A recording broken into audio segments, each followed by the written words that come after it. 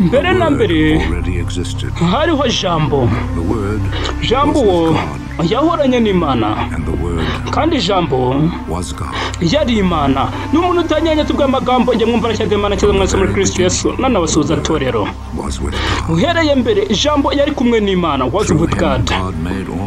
Muri we imana yaremye byose. nta na kimwe mu byaremwe kitaremwe na we. Jambo yari isoko y'ubugingo hanyuma ubugingo bwazanye umucyo ku bantu. umucyo uvira mu mwijima. ni uko umwijima ntiwawumenya cyangwa se ntiwawuzimya cyangwa se ntiwawutsinda hasi pull it out. Nuko dutangiye.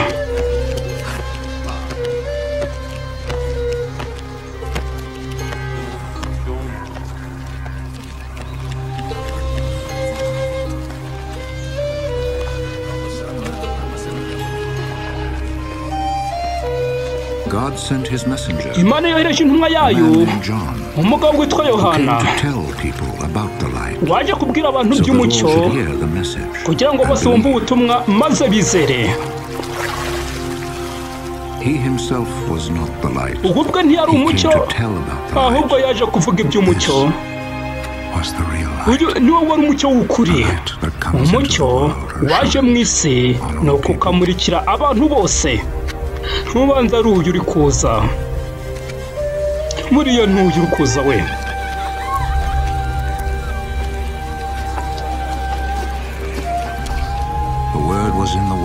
Ijambo yari mu isi nubwo imana yaremye isi muri we ariko isi ntiyamumenye.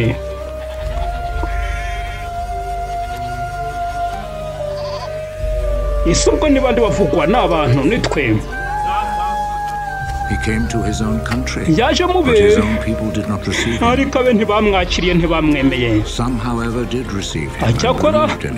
abamwizeye bose bakizera izina rye yabaye ubushobozi bwo kuba abana b'imana. ntibabaye nk'abana b'imana mu buryo busanzwe. aho ni ukuvuga ko byagwa nk'abana b'umuntu. Imana y'ubwayo bwa father. niyo se wabo. Was their father niyo se wabo a jambo yabaye umuntu yuzuye ubuntu n'ukuri aba muri twe tubona ubwiza bwe nk'ubwiza yakiriye nk'umwana w'ikinege wa data John spoke about yohana yaramuvuze is the one dore n'uyu I was talking about when I said, nariho mvuga igihe navugaga nti hazaza nkurikiye but he is greater than I am. ariko aranduta Because he existed kuko before yahozeho I was born. mbere y'uko mvuka before I was born.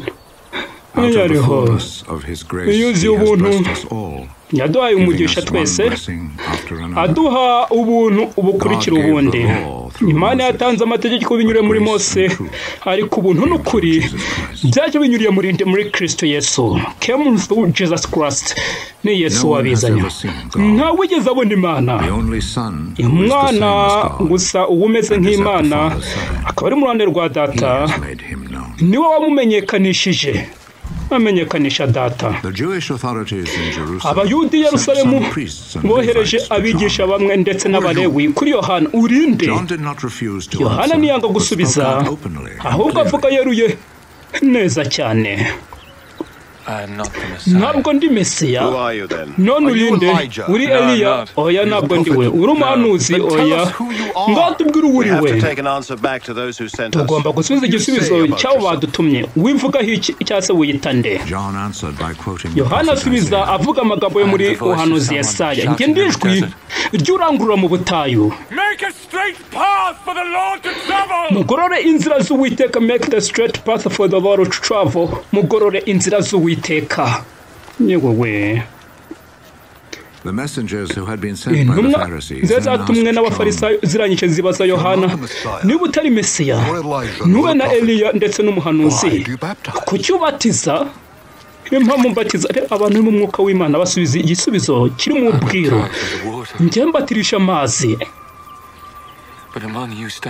Ariko muri mwe hari ubarimo uhagaze mutazi haraza nkurikiye. Nta nubwo ndi mwiza bihagije. Njya kuba nanapfundura udushumi tw'inkweto ze. Yesu we basubiza ibisubizo biri mu bwira abanyamubiri ntibabyumva kumva aba ni abanyamubiri. Mubanza nta n'icyo bakiriye we. Hey. All this happened in Bethany. ibi byose byabereye i betaniya ku ruhande rw'uburasirazuba bw'uruzi rwa yorodani aho yohana yari ari kubatiriza. Nguyu yohana ndetse yohana mu kureba abonye iki cyangwa se abonye nde? The next day, John umunsi ukurikiye yohana yabonye yesu kumbe ni yesu we aza amusanga.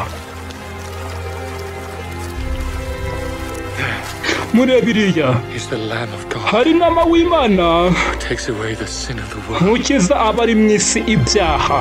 Who takes away the sins of the world. Nakubwiye iyo isi bavuga nitwe This is the one I was talking about. uyu ni we navuze n'igihe navugaga nti is coming after me, hari unkurikira. Before kuko yahozeho mbere y'igihe mvuka. Mbere y'uko mbaho mbere y'igihe mvuka ntabwo namenye azaba nde. Ariko naje mbatirisha amazi kugira ngo mumenyekanishe ku bantu this nuko testimony. yohana ahita atanga ubuhamya. Nabonye umwuka amanuka ava mu ijuru ameze nk'inuma amutindaho stay on him. Amubaho. Kugeza ubwo ntabwo namenye ko ari we ariko imana yanyohereje kubatirisha amazi yarambwiye. "You will see the Spirit come uzabona umwuka on the man." w'imana amanuka agume ku muntu. Uwo nguwo ni we wabatirisha umwuka wera. Narabibonye none ndababwira ko ari umwana w'imana. Haleluya intumwa ze zirabyumva. The next day, umunsi ukurikiyeho his nanone yari ahagaze aha ngaha ari kumwe n'abigishwa be babiri. Abona yesu anyuraho. Dore ntama w'imana The two disciples heard him abigishwa be babiri babyumva avuga ibi. bajyana na yesu. Ndagira ngo iki kintu mucyitegereze. Abantu b'iki gihe bakwiye kugifatiraho iki? Icyigisho gikomeye. Urabona yohana ari ibintu agize. Ntabwo yirinze ntabwo yiriwe avuga ngo mbese ko munsize njyenyine? Kubera iki? Basanze yesu. Jesus turned, yesu arahindukira. Abona bamukurikiye. What are you looking for? ese muri gushaka iki? Where do you soni utuye he? Rabbi. rabayi rabayi ubwo ni umwigisha. Iri jambo rivuze umwigisha Come, muze. Murebe. Muze muharebe. Hari hafi ku isaha ya kane inyuma ya saa sita. nuko bajyana nawe babona haba. bamara n'umunsi wose hamwe nawe umwe muri bo yari andreya brother. nk'umuvandimwe wa simoni petero yaje nk'iyo agatera yiruka. Inkuru nziza ntabwo agomba kwiceceka. amaze guhura n'umuvandimwe wa simoni. Twabonye mesiya. This word means iri Christ. jambo rivuga kristo. Yesu kristo rivuga kristo. Ngwino.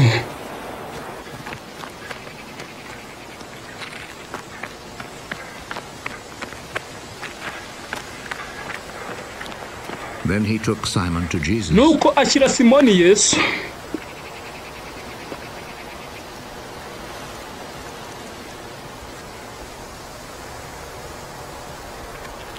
Jesus looked at him. yesu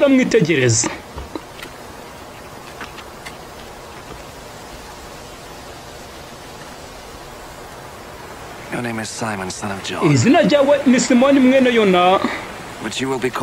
Ariko uzitwa kefa sifasi iri ni nka petero bikaba bisobanura ibuye a rock ibuye.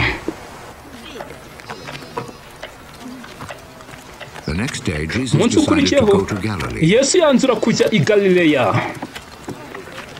I galilaya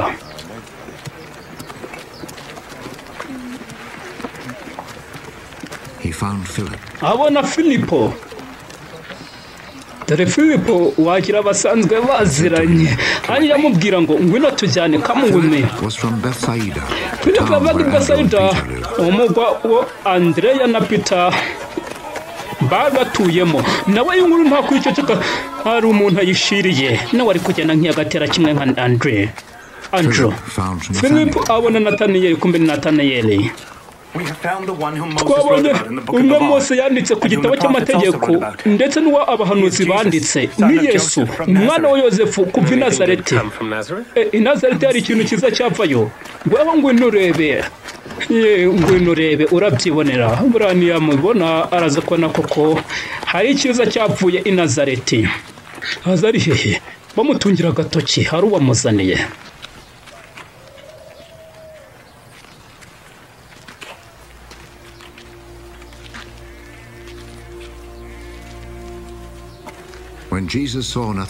Yesu abonye nataniyeli aza amusanga aramubwira "Here is a real Israelite. dore ari umwisiraheli nyakuri pe uyu nta buriganya bumurimo there's nothing forth How do you know me?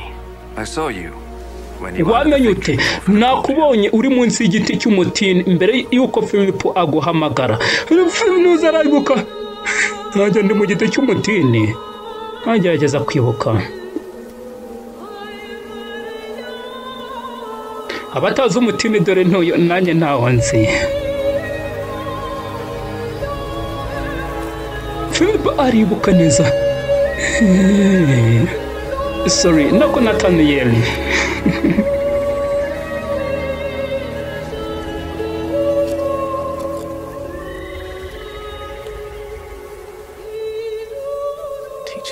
maze kubyumva byose yabyutse. Mwigisha you are the Son of God. Uri umwana w'imana. You are the King of Israel. uri umwami w'abisiraheli. You believe just because I told you I saw ese you. wijejwe nuko nkubwiye yuko nakubonye uri munsi y'igiti cy'umutini? uyu muzabona ibiruta ibi.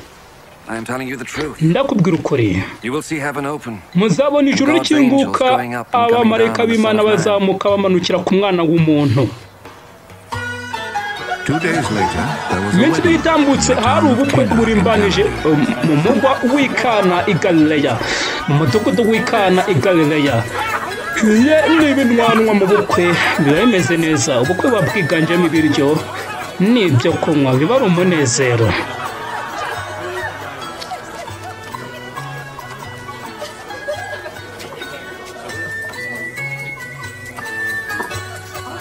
Jesus' mother mama wa yesu nyina wa yesu nawe yariyo yesu n'abigishwa be nabo bari batumiwe muri ubwo bukwe.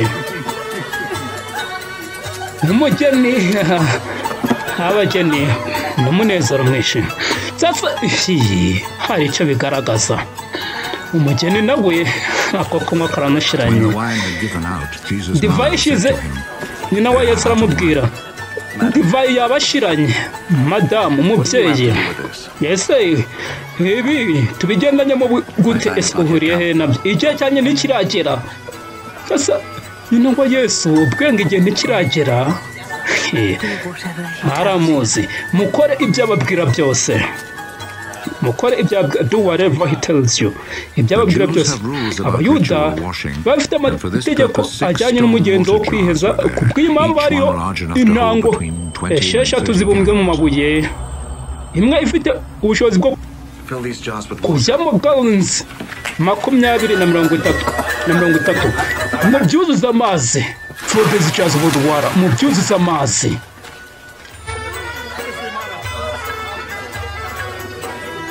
They filled them to the brim. barazuzuza kugeza the feast. mugerayo mudahamu mushyire umusangwa mukuru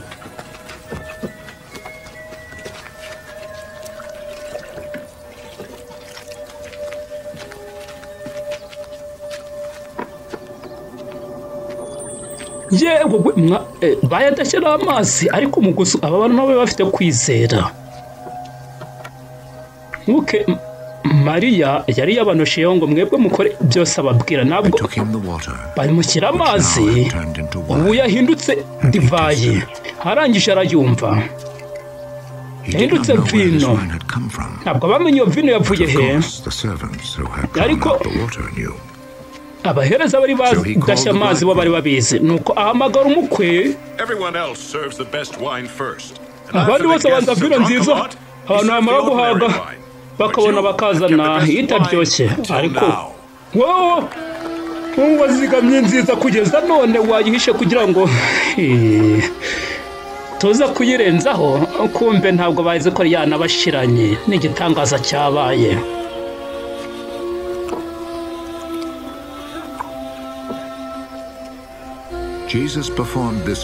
Yesu yakoze iki gitangaza cya mbere i kana i There he galileya revealed his glory.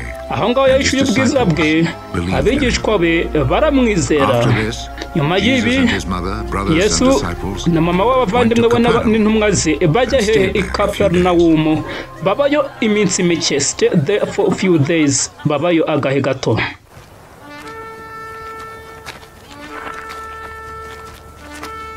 Was almost time for the Passover festival, so Jesus went to Jerusalem. pasika kuba nuko yesu ajya he i yerusalemu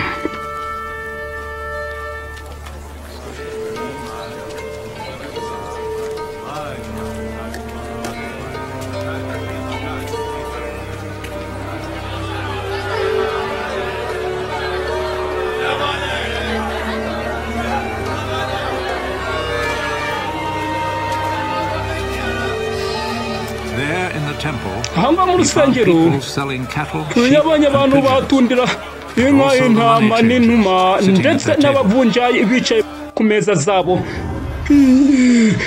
Umujinya. Uramuzamuka yewe gwe mu bayuda babandi. Yeye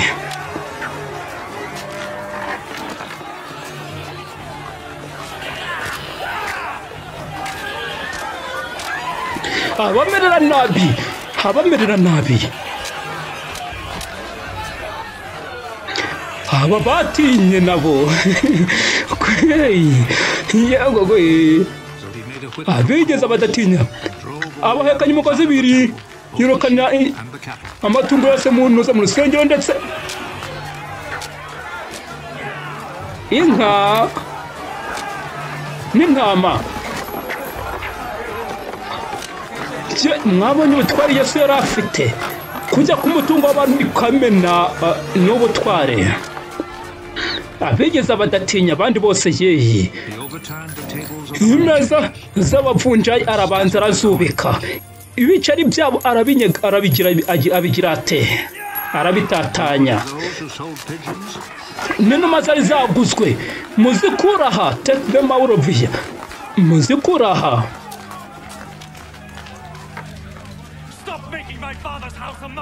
murekera kugira inzu ya intumwa ze zibuka ibyanditswe bivuga ngo ishyaka ry'inzu yawe imana ringurumanamo nk'umuriro authorities came back iranja at him with a question. abayuda barangiye bamubaza ibibazo. Igitangaza this. wakora ngo kitwereke ko ufite uburenganzira bwo gukora ibi? Umusenyi urusengero nuko mu minsi itatu nzarwubaka mu minsi itatu wowe uraje urwubake. Taken 46 years to byatwaye imyaka mirongo ine n'itandatu ngo rwubakwe about. urusengero yesu yavugaga. Wari umubiri we bo ni abanyamubiri ntabwo bazi kumva imvugo y'umwuka. Yesu we. He. So when he was raised from death, his disciples igihe yazutse abigishwa bibutse ko yavuze ibi nuko maze bigenda bite? ibizera ibyanditswe ndetse n'ibyo yesu kirisito yavuze. Muri bo abanyamubiri hari ukomeje kumureba. While Jesus was in Jerusalem during the Passover festival, yesu igihe yari i many yerusalemu believed in him mu minsi mikuru they ya saw pasika the miracles he benshi performed. baramwizeye kuko babonye ibitangaza yakoze umva hanze bari guhamagara ngo yesu. Ariko yesu ntiyabizeye kuko yari abazi bose hanze bari guhamagara ngo yesu. ntibyari kugombera ko hagira ubimubwira ku byabo kuko we ubwe yari azi ibiri mu mitima yabo. Umva ngo There yesu was a Jewish leader named Nicodemus hariho umuyobozi wo mu the party bayuda of the Pharisees. wabarizwaga mu bafarisayo. One night, he ijoro rimwe Jesus. yasanze yesu. Rabayi mwigisha turabizi ko teacher sent by God. kuri umwigisha woherejwe n'imana. ntawakora ibitangaza uri gukora. Kenshi imana iri kumwe nawe ibitangaza cyangwa ibimenyetso. Ndakubwira ukuri. Ntawabona ubwami bw'imana. without being born again. bitagombeye ko avuka ubwa kabiri. Grown man. Ubwo se ni gute umuntu mukuru yasubira kuvuka He cannot enter his mother's womb. ntabwo yakwinjira mu nda ya mama we. ngo asubire kuvuka ubwa kabiri. Ndakubwira ukuri No one can enter the kingdom of ntawe wo kwinjira mu bwami bw'imana. Atabyawe n'amazi n'umwuka. ikibyagwa n'umubiri ni umubiri ariko byagwa n'umwuka ni iki? Ni umwuka haleluya Do not be surprised because I Ntuntu tell you ngugwe. that you must all be born again. nuko mbabwiye yuko mugomba bibakwiriye kubyagwa ubwa The kabiri. wind umuyaga. blows wherever it wishes. aho waba ushaka. You hear the sound it makes. wumva um- um- ijwi ryawo. ariko ntumenye urava he? Cyangwa se urajya he? Nuko Spirit. bimereye ku muntu wabyawe n'umwuka. Ese bishoboka bite uri umwigisha uhebuje mu bisiraheli? Others. hanyuma ibi ntabyo uzi ndakubwira ukuri. Tuvuga what we ibyo tuzi tugahamya n'ibyo twabonye. ariko nta n'umwe muri we ushaka kwemera ubutumwa bwacu. world. mbabwira ibintu by'isi. How will you ever believe me? Then? ese muzanyizera mute none? Ninababwira ibintu byo mu heaven. ko nta muntu wagiye mu Man. Kenshi umwana w'umuntu. Wamanutse avuye mu ijuru. Haleluya ni yesu nk'uko mose yazamuye inzoka mu butayu. no muri ubwo buryo umwana w'umuntu azazamurwa azamanikwa kugira ngo umwizera wese azagire ubugingo buhoraho. kuko imana yakunze abari mu isi cyane yatumye itanga umwana we w'ikinege. kugira ngo umwizera wese na adamu atarimbuka ahubwo agira ati ahabwe ubugingo buhoraho. kuko imana itoreje umwana wayo mu isi kwiciraho iteka ahubwo kuba umucunguzi wayo umukiza kugira ngo abizere umukiza ntibaba baciriweho iteka. ariko abatizera bo bamaze gucirwaho iteka. Kuko batizeye. Umwana w'imana works. dore uko gucirwaho The iteka uko gukora. umucyo waje mu isi. ariko abantu bakunda umwijima kurutisha umucyo. kubera ko imirimo yabo ni mibi abakora ibibi banga umucyo. ntabwo baza mu mucyo. Kuko baba badashaka ko imirimo yabo mubi igaragara. Ariko ibyo ukora come to the by'ukuri light ni we uza mu mucyo kugira ngo ibyo akora obedience to God. bigaragare ko byakorewe mu mana ari ibyo kubahisha imana nyuma y'ibi yesu n'intumwa ze bigishwa be bagiye i yudaya aho bamaranaga he nuko barabatiza. Yohana nawe yari kubatiza muri ayinoni ni bugufi plenty of bw'i water in salimu that place. kuko hariho amazi menshi. iyo ngiyo abantu baragenda bamusanga akababatiza ahari imbere y'uko yohana ashyirwa mu nzu y'imbohe bamwe mu bigishwa ba yohana ritual batangira kujya impaka n'umuyuda ku bijyanye n'umugenzo. Wo kwiyeza umwigisha uribuka wa muntu mwari kumwe. Ku ruhande rw'uburasirazuba rw'uruzi rwa yorodani umwe wavuze nawe ari kubatiza. ndetse buri umwe wese ari kumusanga.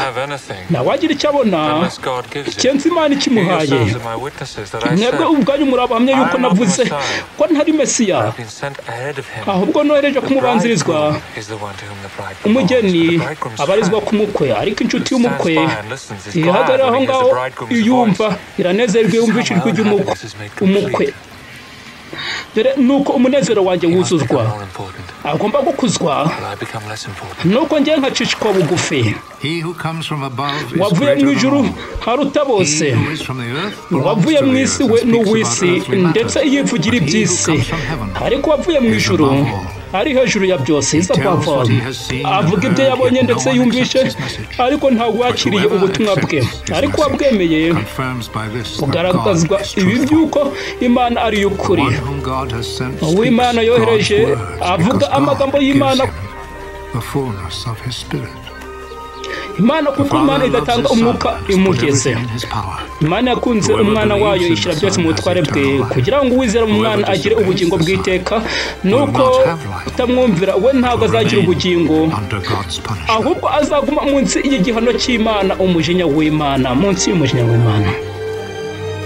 Yewe that Abafarisayo Jesus was winning and bumva ngo yesu ari kwigisha ndetse akabatiza benshi kurusha yohana yesu we nta muntu yigeze abatiza ahubwo abigishwa be nibo babatizaga nuko yesu amaze kumva ibyari kuvugwa ava i yudaya asubira i galilaya. mu nzira agenda yagomba kunyura i samariya. In Samaria, he came to a town samariya named Sychar, hagera ku mudugudu witwa sukara aho zikoreye urukingi yakobo yahaye umuhungu we there, iriba rya yakobo naryo ryari tired aho out by the trip, yesu ananijwe n'urugendo. yicara kureba hari hafi ku isaha y'esheshatu uh, ya hari ku isaha y'esheshatu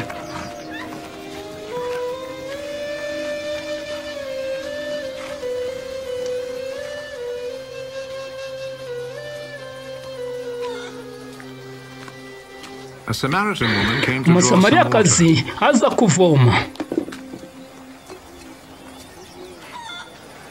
Give me a drink of water. impa ku mazi yo kunywa. abigishwa be bari bagiye mu mudugudu kugura ibyo kurya. Uri umuyuda ngenda umusamariya iby'amoko byari biriyonaho we ni gute none unsaba amazi yo kunywa? abayuda ntibakoreshaga igikombe cyangwa urwabya rwakoreshejwe n'abasamariya wamenya icyo imana itanga. Ndetse n'uri kugusaba amazi yo kunywa nawe wari kumusaba.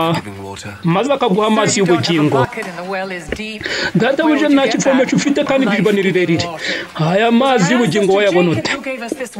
ese sogokuruza yakobo waduhaye iri riba we n'abana be ndetse n'umukumbi barinyweragaho ntiwiyita mukuru kuruta yakobo sibyo abanywa aya mazi basubira kugira inyota. Those who drink the water that I ariko unywa amazi nzamuha ntazagira inyota rwose iteka The water ryose ahubwo amazi nzamuha azamuhindukiramo isoko y'amazi. Life. aduza kugeza mu bugingo buhoraho. ayo mazi yamewe sinzasubira kugira inyota cyangwa se nkugaruka hano kuvoma amazi Go and call your husband and come back. genda uhamagara umugabo wawe maze ugaruke hano. Yewe we ndamugira se. Nta mugabo ngira. You are right when you say you don't have a husband. uri mukuru aho uvuze ngo nta mugabo ugira wakingiranywe n'abagabo batanu ndetse n'umugabo muri kumwe ntabwo ari uwawe. arumirwa. Umubwije ukuri pe. Databuja ndabibona uri umuhanuzi. Ba sogokuruza bacu basengeraga kuri uyu musozi. namwe mukagira ngo yerusalemu ni ho hakwiriye gusengerwamo The time Mugore will come when wanyizera. igihe kizaza ubwo bazaba batagisengera. Data kuri uyu musozi cyangwa i yerusalemu. Dore worship. musenge icyo mutazi. ariko twebwe dusenga ibyo tuzi. kuko agakiza kava mu bayuda. Ariko igihe kiraje? Ndetse kirasohoye kirasohoye. Aho mu mbaraga z'umwuka w'imana. ni bwo abantu bazasenga data nk'uko ari ndetse bamusenga nk'uko abishaka. Imana ni umwuka. Mu mwuka wayo wonyine ni bwo abantu babasha kumusenga nk'uko ari.